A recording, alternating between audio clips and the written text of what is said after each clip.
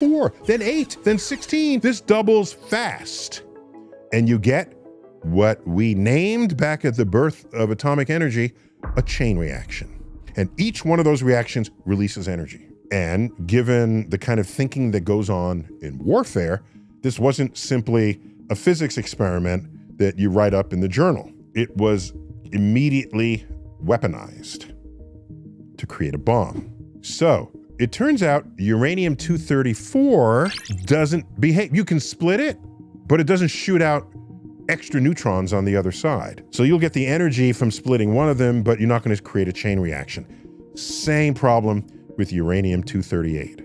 It's only the 235 that has this property. If you get enough uranium in one place at the same time and start the reaction, you light the fuse. If you want to make a bomb, you want to isolate the uranium 235 from the uranium 234 and 238. Most of the uranium ore is uranium 238. Not useful for you. About no more than 1% of the uranium that is mined is uranium 235. So you want to enrich that. You want just the uranium 235. Well, how are you going to do it? These atoms are mixed together completely.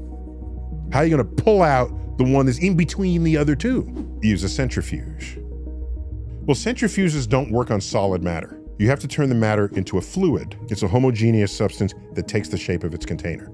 So, liquid is fluid, so is gas. The study in physics of fluid dynamics is the study of objects moving through gas and liquid. The same formulas apply in both cases. Back to uranium. One way to do this is to turn it into a liquid, but turns out